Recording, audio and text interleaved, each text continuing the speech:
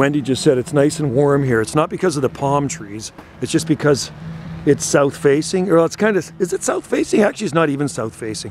It's more like east facing. Water's like glass, huh? Yeah. Pretty nice. Hey, retired?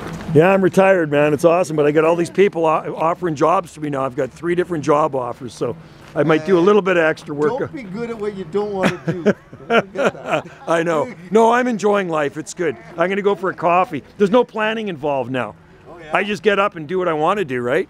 Well, that sounds like a plan to me. And it's a nice day. To, it's a nice day to be here, isn't it? Beautiful out. They, I guess this is the calm before the storm. It's supposed to get kind of snowy, so that's why I'm taking a picture and video of these palms before they have snow on them. Oh, before and after. Before and after, yeah. Have a good Christmas, man. Yeah, see you later, dude. It's funny, they're all planted exactly the same time. Woody Scott planted these things, and um, that one there has grown taller than the other ones, and they're all five gallon uh, palms when I sold them to him. That's when I worked up, up the nursery. So, and those were imported from California. They're not locally grown. I didn't grow those from seed.